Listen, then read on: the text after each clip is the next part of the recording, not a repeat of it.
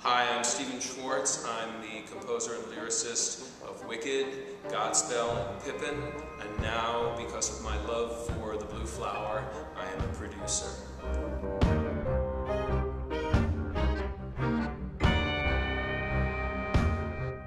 I think The Blue Flower is one of the most creative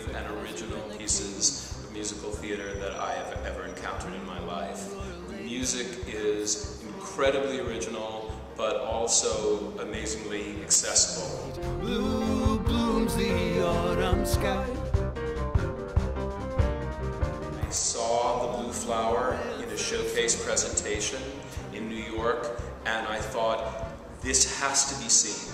Uh, this has to be shared with more of the world. I've got to help this in some way. The Blue Flower first came to my attention about two years ago when Stephen Schwartz brought me the material and he put the CD and the script in my hand. And he said, Take a listen, take a look, and let me know what you think. And I immediately fell in love with this material. What I love about The Blue Flower is it's a very bold, uh, new work of musical theater. It's a contribution to the American canon of this great art form, the American musical.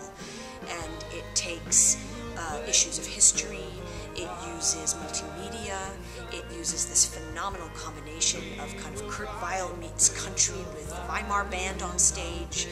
Um, it's very expressive in terms of using art forms like Dada as a departure point and inspiration um, for making theater.